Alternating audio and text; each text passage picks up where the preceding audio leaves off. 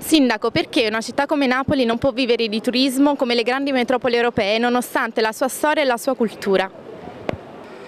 Sindaco, come lei ritiene che Napoli possa diventare un centro culturale nel Mediterraneo, soprattutto per i giovani? Ma Napoli sta già diventando, lo voglio dire come orgoglio, è un merito di tutti i napoletani, come orgoglio da napoletano, la capitale del, culturale del Mediterraneo e penso la, sta ritornando a essere dei, uno dei luoghi culturalmente più attraenti del mondo. Insomma, ricordiamoci che tre anni fa, quando venni eletto in piena emergenza rifiuti, non c'era un turista a Napoli,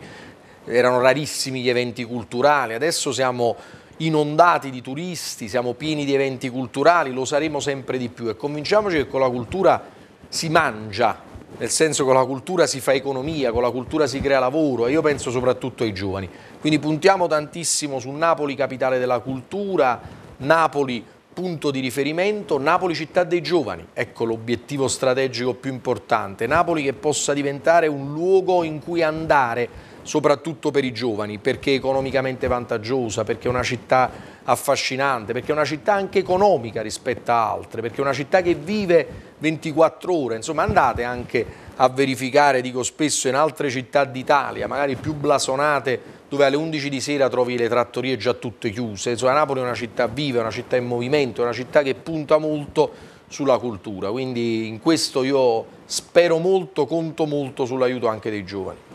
Si può fare qualcosa eh, in modo che questa città resti com'è com e che si continui a parlare il napoletano e che venga valorizzato l'autenticità, la, la lingua, la napoletanità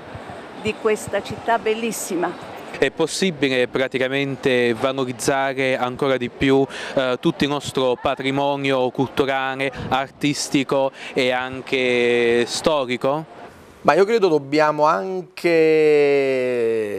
come dire, pensare a forme di sponsorizzazione. Per il rilancio del nostro patrimonio culturale non possiamo attendere solo risorse pubbliche che non arrivano, non arrivano da tempo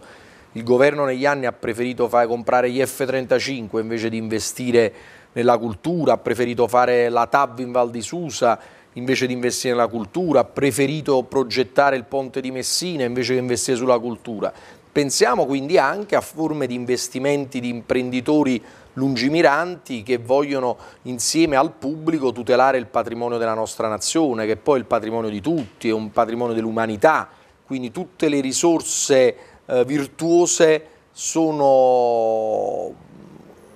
ben accette quando si tratta di valorizzare il patrimonio culturale. Noi nella nostra città lo stiamo facendo con un bando pubblicato alcuni mesi fa abbiamo ottenuto circa 3 milioni e mezzo di sponsorizzazioni per il restauro di ben 27 monumenti della nostra città.